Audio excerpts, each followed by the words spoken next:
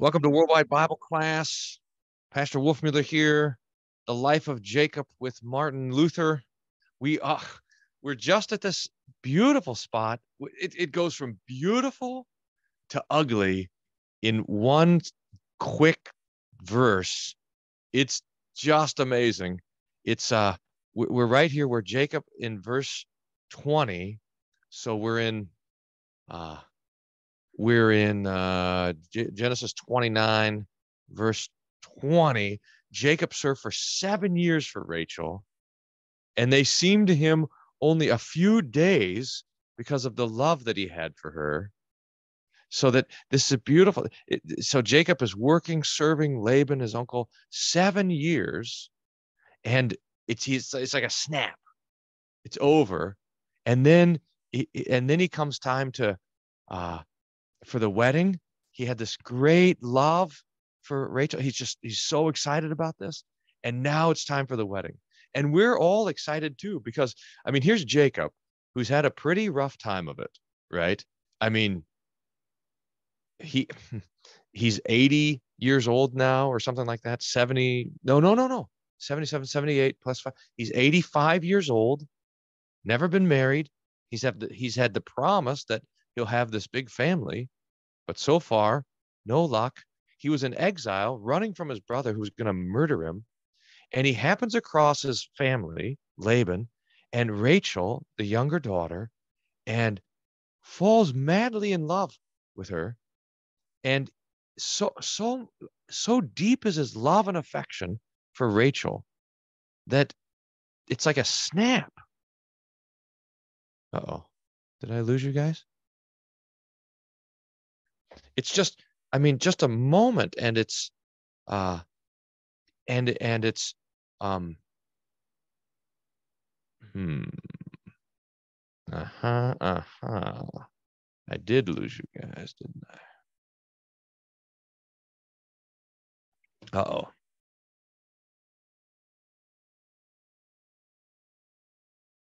Okay you guys are there. Okay. So Gotcha. Okay. So, uh, so, so that's just this, this kind of marvelous, wonderful, beautiful, delightful picture of how it goes with, uh, with Jacob and Rachel. And then all of a sudden, Laban's going to just pull the rug out. Whack. Whack. Uh, well, out of a, a love for a charming and beautiful maiden, he endures such a long and hard servitude. And from this one can gather how great his love is. And one should note that Holy Scripture does not condemn, but praises this love in the bridegroom. But what follows is an outstanding and brilliant example of Jacob's patience and servitude and in love for the maiden and his love for the maiden. So, so then Jacob said to Laban, so here's, so he's, he worked for seven years and, you know, without saying a word, seven years. And then Jacob says to Laban, Give me my wife, for my days are fulfilled, that I may go into her. Now, this is not like, you know, my years are fulfilled. Jacob here is counting the days.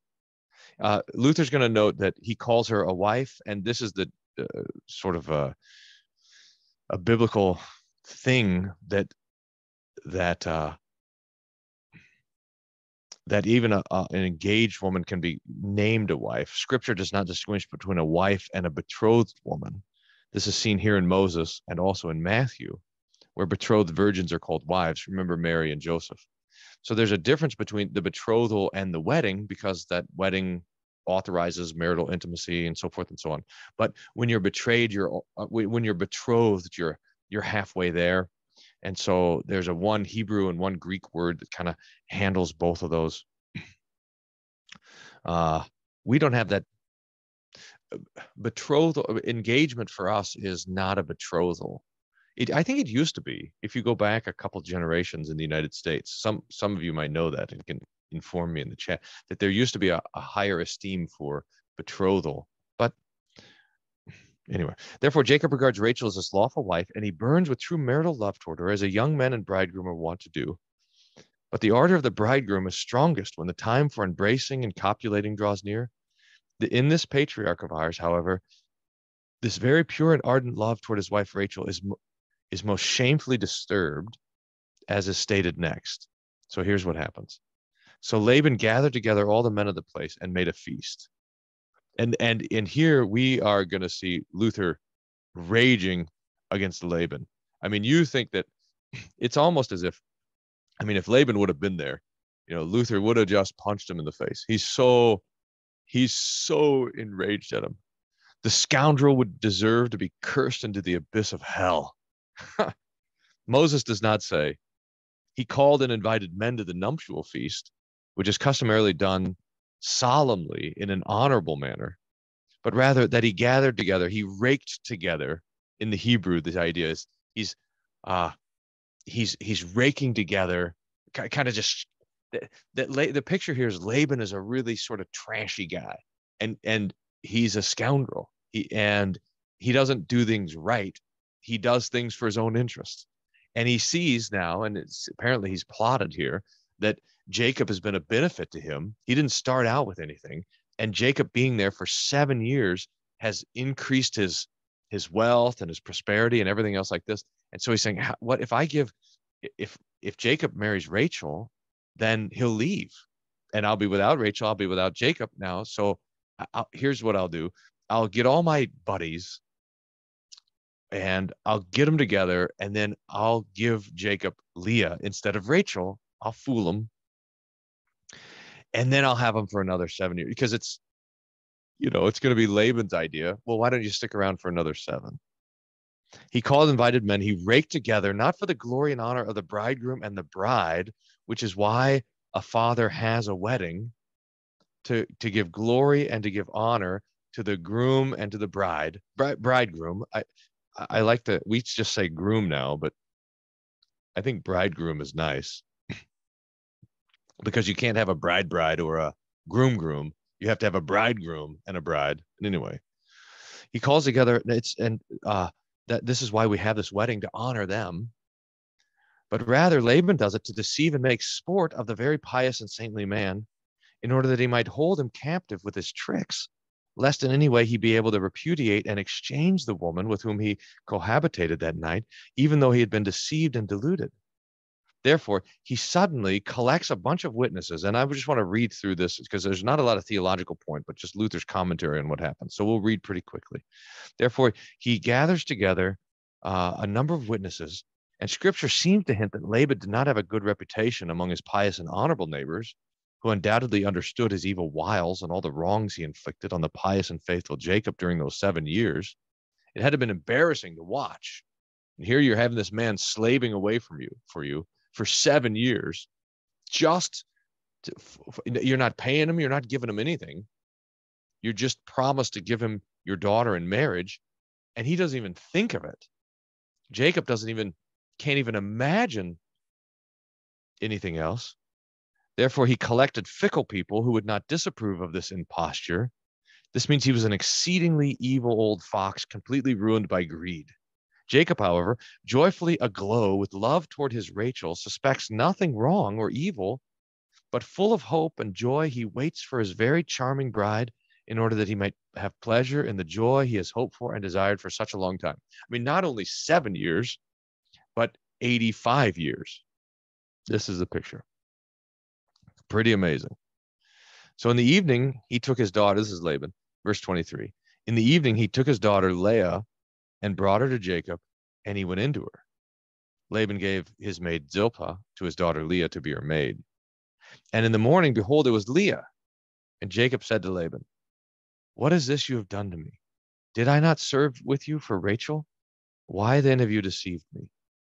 Now, I want to I, I want to make the point here that wait a minute.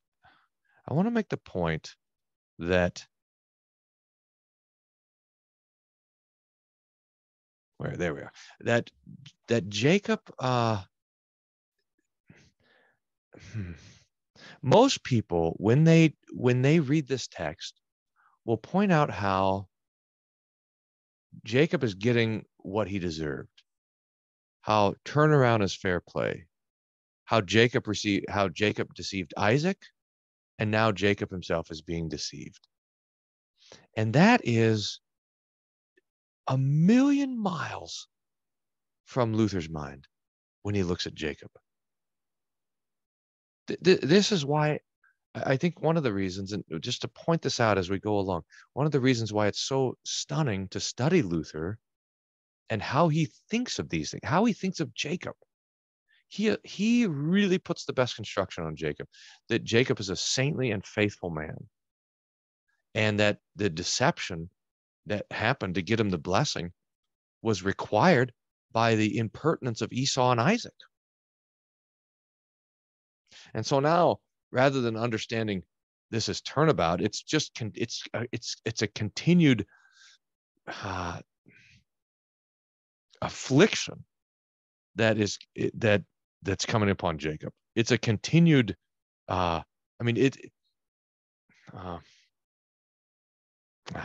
anyway, you see what I'm saying? It's that Jacob is, is living this life of suffering This is an example of patience, see.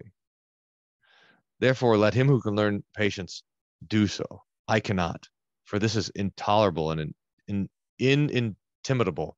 Uh, Luther's going to say, you know, a lot of times Luther's going to say, look, the saintly patriarchs are given to us as an example, but, but uh, I, I don't think we'll get to it today, but maybe at the bottom of this, uh, Luther's going to say, but you can't follow this example. You can't this example of Jacob, there's there's a piety that's too profound for us even to to try to embrace. The very pious and saintly man loves the maiden so ardently that he does and endures everything for seven whole years. Indeed, he enriches that greedy old fox Laban with the stipulation and the condition that he give him his daughter Rachel in marriage but in return for such faithful service, Laban thanks him by secretly taking away his wife. This is amazing. And the virgin whom Jacob loved and had sought and desired for so many years. And at that time, and in the very hour of marital joy he had longed for most, Laban not only snatches her away, which of course is very annoying in itself, but he also thrusts on him another who's revolting to him and in this way puts a perpetual burden on his neck. And not only a perpetual burden on his neck but also it's going to th- this is going to have uh, bad effects in the whole family. This is not just setting uh, this is not just setting jacob against uh, laban but also against leah and leah against rachel and the children against each other it the whole thing gets all twisted up it's surely a horrible and exceedingly disgraceful imposture.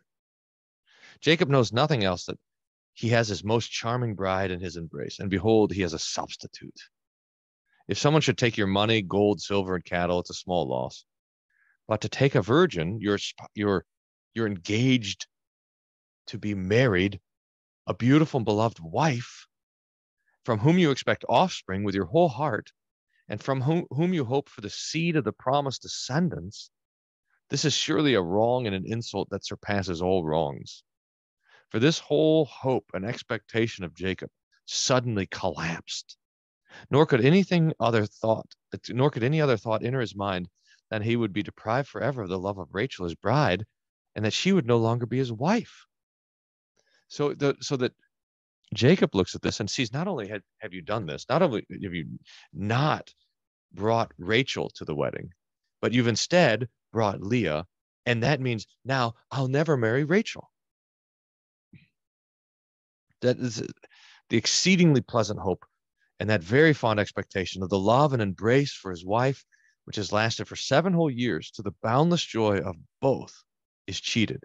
And and Luther's going to say this is not just Jacob that that uh, that was hoping for this marriage, but also Rachel.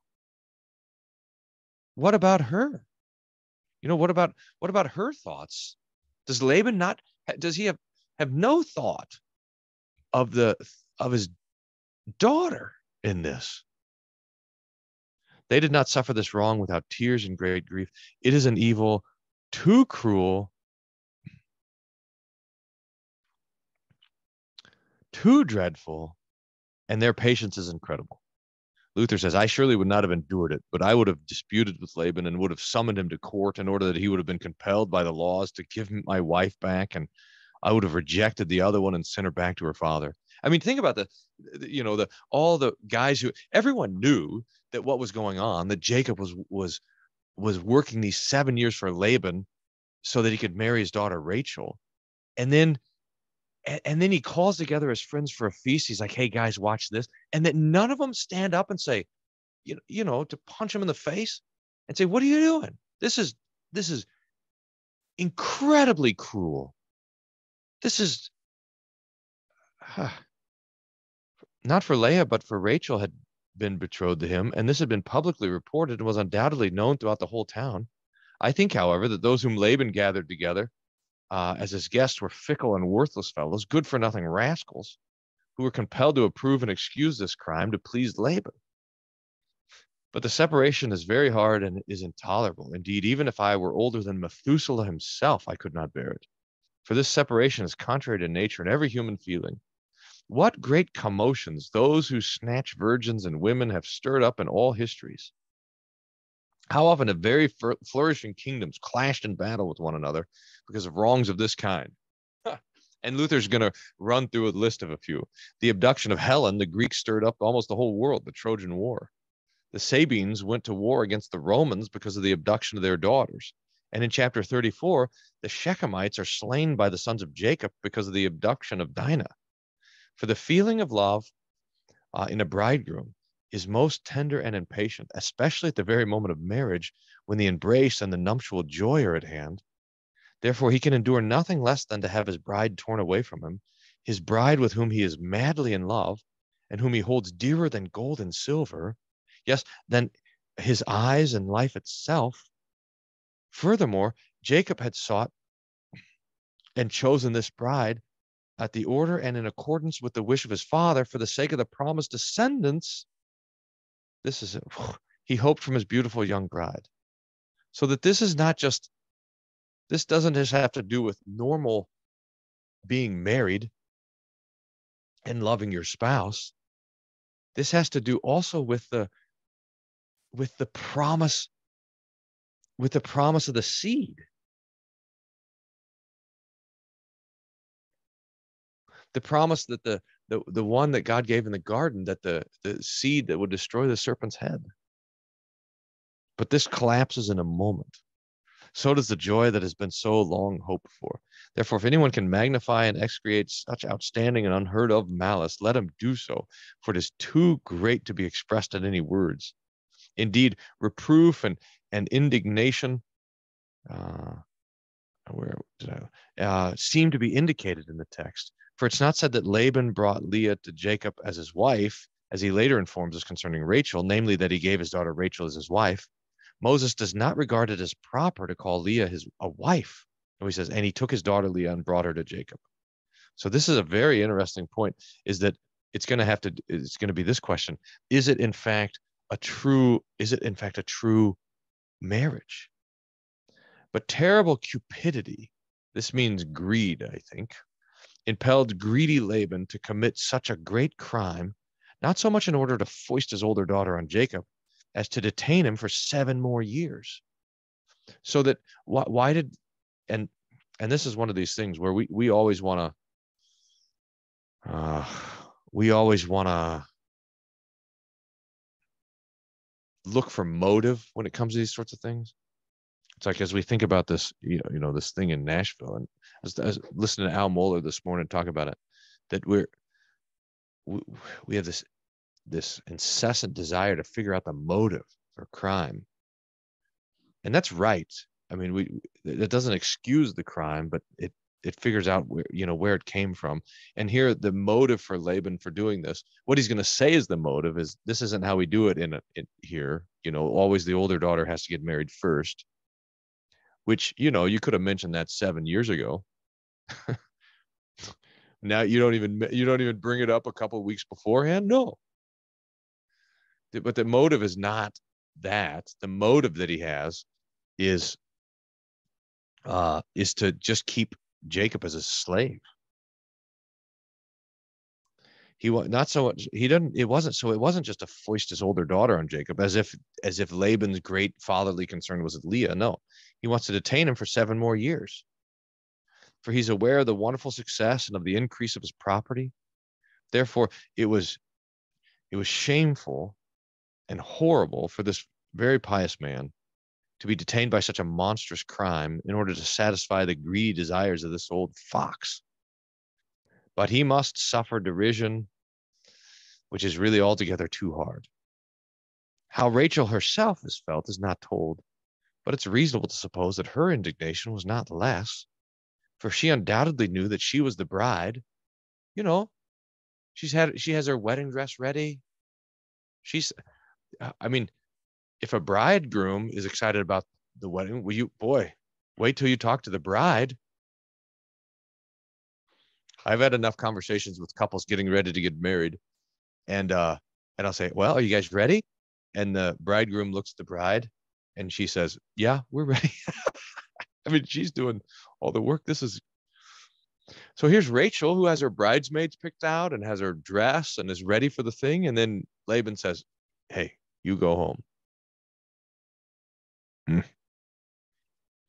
She knew she was the bride. It was known to the whole neighborhood that Jacob was serving for Rachel those seven years. Therefore, she was disturbed by the wrong just as much as the bridegroom himself. Indeed, she could endure and overcome much less. The nature of her sex is weaker. She was sh- sure that she was the bride and that she was to be led in the bridal chamber. But in the very hour in which she thinks she will enjoy the lo- uh, love and the bridegroom she had longed for, she's most shamefully deceived not without great grief, not without tears and wailing. Accordingly, this is a sad and mournful marriage, for the bridegroom is wretchedly deceived, but Rachel the bride is rejected. Undoubtedly, she could not conceal her completely justifiable grief and indignation and gave evidence of this with her tears and her voice, which she expostulated with her father, saying, Why are you taking from me my bridegroom, whom you yourself promised me? But the cruel father was not at all moved. Amazing, Laban. Perhaps he even restrained her with threats. Leah knew that she was not the bride, but the bride's sister. And perhaps she offered some resistance to the wish of her father. Yet, out of human affection, she allowed herself to be taken away and to be forced to commit this wrong. Indeed. So here now talking about Leah, what what was what's what's her role in this whole thing? She also knew that she was, you know, she was supposed to be an attendant at the wedding, not the bride. Indeed, she congratulated herself on this act of violence in order that she might become the mother of the promised descendants who, as she had heard, awaited were awaited by Jacob. So what's going on with Leah in her mind that she thinks this is a good idea and that she doesn't speak up, you know? It's dark and Jacob comes into the tent and Leah says, Hey, by the way, it's Leah, not no. She plays along. She must have played along for the whole thing to work. Therefore, this was an unfortunate marriage for Jacob and Rachel because of the unexpected deception. And in the case of the very saintly patriarch Jacob, an example of exceptional chastity and a cross and the greatest patience is set forth. For I do not know where, if any one of the saints, not to say the heathen, would have been able to bear this cross with such great patience. It's too high and too terrible. What what would anybody you, you take the greatest of all the people ever born, what would they do in this particular situation? And Luther says, look, it's Jacob. His patience here is just through the roof. The question is asked what kind of nuptial rites were there among these people? For Jacob alone sleeps with her alone in the bedchamber and on the same bed, but he doesn't realize that it's Leah has been substituted for Rachel. So, how are their marriage customs such that he didn't recognize this? Uh, Luther talks about how, you know, we come along with lights and torches and you actually see each other's face and you go to church first and then etc. It just must have been that the customary, they did not live so close together as is customary among us. Young men lived with their fathers, maiden with their mothers. Jacob uh, had his bride with him in his bedchamber. He surely could have conversed freely with her. He could have discovered even, uh, where is it? He could have discovered even by touching her it wasn't Rachel. From this one gathers that in this age there was the greatest modesty, or at least in the case of the patriarch Jacob that the, the, things must have been arranged in such a way and luther accounts for this by the modesty of jacob that he is almost timid here and he just in he simply he embraces well leah who he thinks is rachel. He enter here, here it is. It's, there's a modesty and chastity which is the reason why this isn't discovered. Uh he neither spoke with her nor touched her but only embraced her with marital love out of exceedingly great joy that finally he had been able to enjoy the love of his very dear bride Scripture commends this outstanding modesty and chastity. He entered the bridal chamber without suspicion, without lasciviousness, without lewd desire, with simple marital affection. Um, consideration should be given to this great frankness and not discovering by any sign at all that the woman whom he came was a stranger. For one should not look at the fathers as the papists do. Now, this is again here. Uh, what, what Luther is challenging us to do is to think how do we look at the fathers? How do we think of the fathers? Uh, do we think of them in terms of patience, chastity, and faithful living? Or, or do we think of them as crude and whatever? This is the, the, this is the uh, this is the real challenge of the reading the scriptures here with Luther is the way that he looks at the fathers. For it is their opinion that the fathers uh, indulge madly in lust as they themselves do. but in Jacob, there was a very simple chastity and completely pure love toward his bride. Nor did he have any reason to suspect that another woman would have been substituted, for both parents and the bride herself are very well known, and in all of them, the greatest candor and the purest sincerity has always been seen. Nevertheless, he's deceived. But this is what I think. And I excuse Jacob, as I said above about Lot when he lay with his daughters. For it can happen that a man at times is so absorbed in strong imagination and in the application of his mind that he doesn't see, hear, or feel anything, even though he hears with open ears and sees with open eyes. We, we know this. This is what, you know, when you're focused on something and someone's talking to you and you hear that someone's talking to you, but it does not register. Or you're thinking about something and you see something, like you can see it, but it doesn't register what you're seeing. Uh, Luther's talking about that. In fact, he's going to go on to say that this is especially common in people who are melancholy. He talks about Lot and how he was deceived by his daughters to give them children and so forth that must have happened there. This is strange, but it's customary in the case of a melancholic. Uh, it's natural when they give serious attention to some endeavor or to thinking about something. From a melancholic, you could often take away all his property without his knowledge, even though he himself were present. You gotta, you gotta. Can you imagine this? So, so, so melancholy is probably the ancient word for depression. And can I commend that word to you, by the way?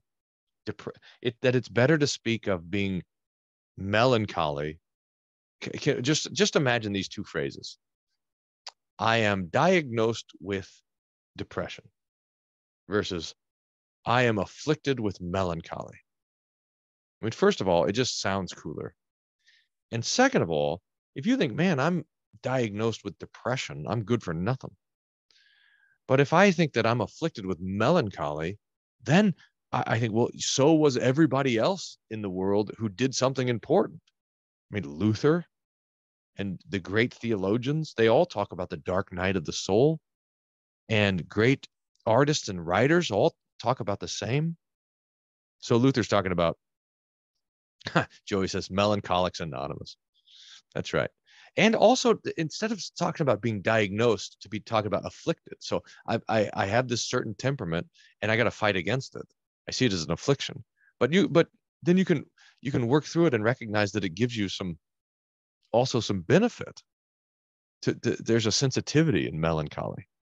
So and Luther talks about if you have someone and they're depressed and they're and they're sitting there thinking about something, you could steal you could steal their house from around them and they wouldn't even notice, even if they're sitting there. in the same manner, I mean Luther knows this from experience. Jacob's heart was occupied with and absorbed in love and joy. And he gave thanks to God because he had a bride from whom he was hoping for descendants. He was drunk, not with wine, but with love for Rachel, whom he had sought and desired for such a long time, seven years working, and it was like a day. This drunkenness of love is certainly great insensibility, stupefied, as it were, by this. He could not notice or feel the deceit, for he suspects nothing evil, but is completely absorbed in thought and in love. He is sure that his bride can no longer be taken from him. Therefore, nothing was further from his mind than that the old fox felt obliged to take his bride away from him and to substitute Leah. This is how I spoke above concerning Isaac when he blessed Jacob instead of Esau, although he recognized Jacob's voice, and although his heart felt beforehand that treat, deceit and trickery were at hand. Nevertheless, since he was occupied with a desire to pronounce a blessing, he gives no thought even to the things he feels and hears. Such examples occur often in life when hearts fall back from the external senses into the thoughts which they were previously occupied, and when they think that it's impossible for them to be deceived or suffer any harm. For they trust their hearts more than their eyes and their ears. Therefore, when we must think that Jacob, too, drunk as he was with love, was stupefied and carried away, as it were, so that he thought of nothing less than he could than that he could be deceived. That powerful ardor of love blinded him. This is what come to has come to my mind about the imposture of this old fox, namely how Jacob was deceived by it. At the same time, however, that outstanding and rare example of modesty should be noted, and the chastity of the patriarch should be enlarged on over and above all the chastity and celibacy of the monks. This is a this is a the, the, the, here Luther, of course, is fighting against the idea uh, that the monks take a vow of chastity, and Luther says, "Okay, show me that. show me that chastity. In what monastery?" It's a crazy thing, by the way, that one of the main arguments of the Catholic apologists today against the Lutherans is that Luther started the Reformation because he was um, lusty and wanted to get married, which it seems like if you're lusty, that's what you should do according to the Bible. But that's what they accuse Luther of here. But I, I'm not sure that's the argument that they want to use. So that the the, uh, the chastity of the patriarchs here, the exceedingly ardent impulses of love and lust are overcome or at least repressed in both Jacob and in Rachel. Although Rachel was the true bride, Yet she's excluded from marriage chamber for which she is hoped for and which is her due. And she's compelled to pretend that she is not the bride and to comfort and assuage the wretched love and longing for this bridegroom with her tears. Furthermore, one can see how here how the great paternal power was among those people. For Leah is compelled uh, by only one word and nod from her father Laban to take the place of Rachel and herself to become bride, even contrary to the plighted troth the, the uh, to the pledged truth. I, I I've been for years. Uh, the old language for the uh, wedding vows is uh, "I plight thee my troth," which is old English for "I pledge to you my faithfulness." Troth being faith, truth, faithfulness, plight, pledge. I pl- so the plighted troth is the pledge of faithfulness, which we have in marriage. And I've been trying to talk couples into plighting their troths instead of pledging their faithfulness. And finally, I got a couple. We're get, they're getting married in three weeks, and they said we'd like to use the old the old vows. Plight I plight thee my troth. So I got I don't know. They might get scared by the time we get there, but it at least ask me in uh ask me in a month if we had the plighted troth. I even contrary to the pledged faithfulness. For before that time, Jacob had not exchanged a single word with Leah about getting married. No love, no pledge, no agreement had intervened. But without consent, agreement, and discussion, the daughter is seized by the father and placed on the nuptial bed of Jacob. The father does not try to find out what his daughter wants. He does not hear her answer. If these were the customs of those people, they certainly were very bad. For it is certain that no betrothal was concluded. Oh, here, this is um, there, there's no betrothal concluded between Leah and Jacob, and that no witnesses were summoned. In other words, this was not done in an orderly way. Will you marry me? Yes, no, etc., etc. Not none of that. None of that. None of the any of the stuff that's supposed to happen. Everything is attended to suddenly by the tyranny and violence of the father who seizes his daughter and brings her into Jacob. Therefore, this is a very bad example by which we see that Leah becomes a bride by the sheer tyranny and cruel boldness of her father, although it's reasonable to suppose that she consented readily to become the mother of the saintly posterity, and it's therefore excusable. The tyranny of the father is completely detestable, although the saintly man tolerates this wrong, he endures it. Yet is a detestable example that one should by no means be intim- uh, intimated, copied. Here, Lyra and others ask whether this was a true marriage that night between Leah and Jacob. I replied that it was not. Then was it adultery? By no means. What then? A monstrosity. So this is a tricky question. Was it a marriage? Well, no, not you can't call this a marriage. But can you do you call it adultery? Well, you can't call it adultery. Uh it, it was a it was a monster. Luther just says it was just a, a disaster. It was a monstrosity. It was a defilement. It was was it sinful? Yes. But where's the guilt? Was it on Leah? Maybe a little. Was it on Jacob? No. Was it on Laban? Yes. If you look at the deed itself, Jacob is not Leah's husband, but he taints and defiles a woman who is not betrothed to him. Yet he's without guilt, but the guilt clings to faithless Laban, who deceives the bridegroom and the bride and tears the marriage asunder by uniting Jacob with another woman than the one he had promised in marriage, and that his daughter. Ugh. He can neither be called an adulterer, Jacob, nor does he deserve to be regarded as one. And if the question is asked whether Jacob sinned by lying with a strange woman, one must reply that although the deed itself is a manifest defilement and not a marriage, yet he did not sin. In other words, he, he, he doesn't bear guilt for this, for he has been deceived by another's treachery, which he could not even suspect. For who would fear that a father would defraud his very own daughter of the joy hoped for for such a long time? The daughter had no other thought than, and look at how Luther is like bouncing around, like how it must have been with Rachel, how it must have been with Jacob, how it was with, he's, you almost get the sense that he's like, he's so incensed, like it just happened yesterday and he can't believe it. He's like Luther is, you do get the sense here, he's like fuming over this injustice. Would that we could read the Bible that way, that we could just be so close to it. Like, can you believe it? That it would, that it would, hmm, I mean, I don't, what, is this? That it would just cause our, our minds and our hearts to, it would move us. This is how, uh, here Luther's, he's just all over the place because of his anger here. Jacob entered with true marital love without any doubt that he would embrace Rachel, his wife. For the treacherous rascal Laban had promised this, pretended for seven whole years, but in one moment he destroys the marriage that has been pretend, uh, pretended for such a long time. This is plain rascality. Is that how to say that? Therefore, we shall reply to the proposed question by saying that there was no marriage between Jacob and Leah. For the willing consent of both was lacking. She had not been betrothed to Jacob, and Jacob was not Leah's bridegroom. But a mistake was made and it was a case of invincible ignorance in a political uh, in a political matter. Now, this idea of invincible ignorance is a legal term. Remember, Luther went to went to law school for a couple of months, a couple of years, I suppose, and we we still have this idea of invincible ignorance that if if you if you did something and you couldn't have known any different, you can't be held guilty. Luther's going to say that that's not the case in theology because you can't but but sin. All you can do is sin, and yet you are still guilty for it. In theology, however, this idea of invincible ignorance has no validity, even though some have related it to theology. But its place is only outside theology in the political sphere. It should not be adduced before the court of God, otherwise, all men would be saved. Look, I, I was a sinner. I was born with sin. It's not my fault. Etc. Etc. For reason does not understand it, yet this does not mean that they are excused before God.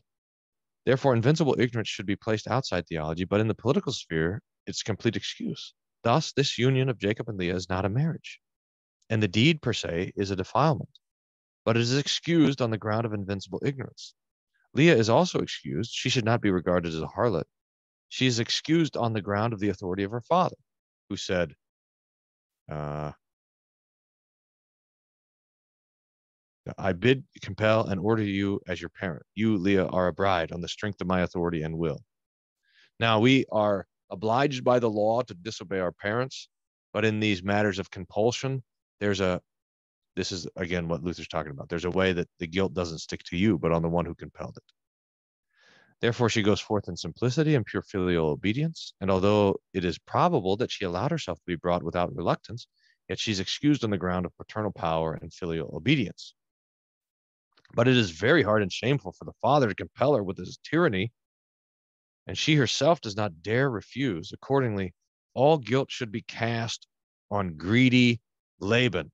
Notice how here Luther's playing a, that trick on his name by spelling it backwards referring to Nabal, the fool who almost gets killed by King David.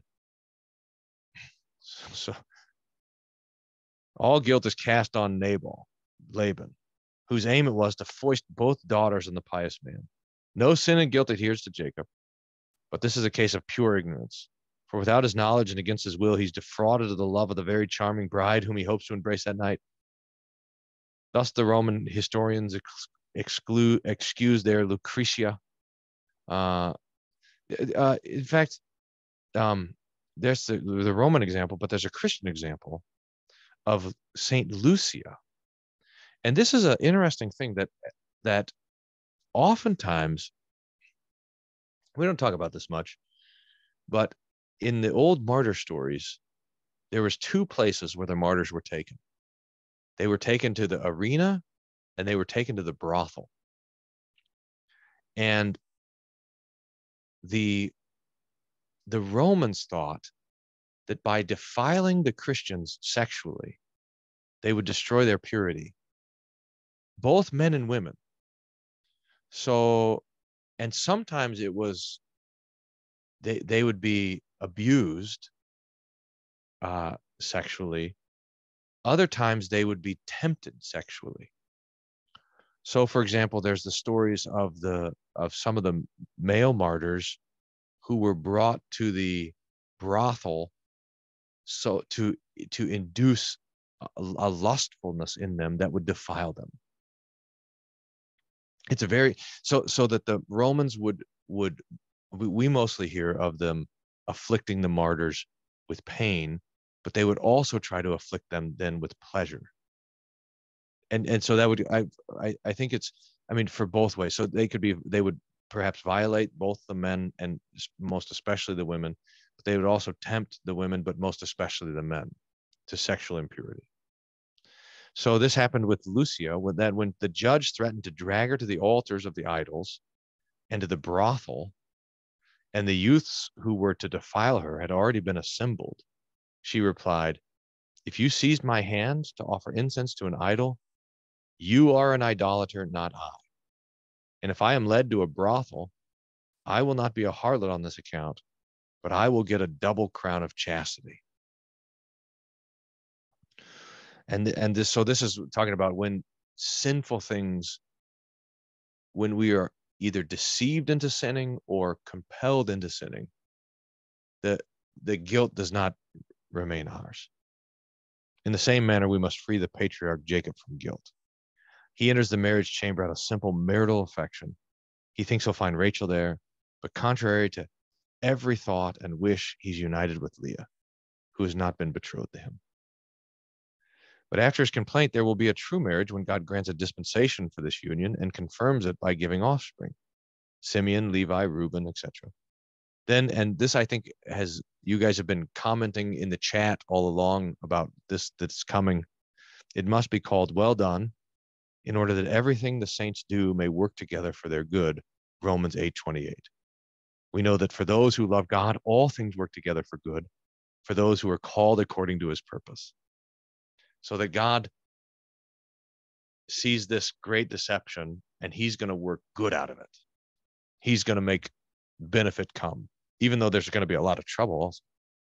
Otherwise, it's neither marriage nor adultery, it's simply a monstrosity. Nor should this example be imitated by us.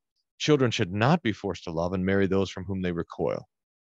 Besides, enough and more than enough happen, happens in the way of dangers and trouble in marriage, even if those who are aglow with love for each other are united as daily examples show. Nor has this patience been set forth for us to imitate, for it is too hard and completely heroic, namely to endure and suffer with equanimity that one's bride is snatched away in the very hour, at the very moment of the nuptials. Therefore, one will have to admire and praise this example rather than imitate it. So Luther's saying, okay, now what do we do with the text? Certainly, we don't imitate Laban here. This is utterly cruel and wicked and horrible. Uh, but neither are we called to imitate Jacob here because this patience is is just too much. Like who could endure? Moses proceeds to describe how Jacob felt when he discovered the deceit. All right, so we got we covered a lot. So I want to actually want to stop there and stop the recording. We'll say a quick prayer, stop the recording, and then and then chat about this because now we're going to get to Jacob's reaction, and then we're going to get the conversation with with Laban and what follows. So that's a one and and here I used to think I know was maybe from Sunday school that it was seven years working and then married to Rachel, and then seven years working and then married to Leah. But it's it's not that way. It's seven years working, married to Rachel, one week married to wait wait, seven years working married to Leah, then one week and then married to Rachel, and then seven years more working. So so we're going to get to that week and get to all that arrangements uh, here. Uh, let's uh, let's pray. Lord, we give you thanks for your for your word, uh, for the wisdom and comfort that you deliver to us in your word. We pray that you would keep us uh, trusting in your word, that you would grant us your spirit so that we would uh, see rightly the fathers who went before us, especially Jacob, that we would understand uh, his patience and suffering as he clung to your word and promise. We thank you that in all of the uh, sinful acts, uh, you worked your good for your people, and most especially to establish your church. And give us the confidence that you continue to work all things together for the good of those who love you and are called according to your purpose. For we ask all these things through Christ our Lord, who lives and reigns with you in the Holy Spirit, one God, world without end. Amen. Amen. Thanks, everyone. Let's stop the recording.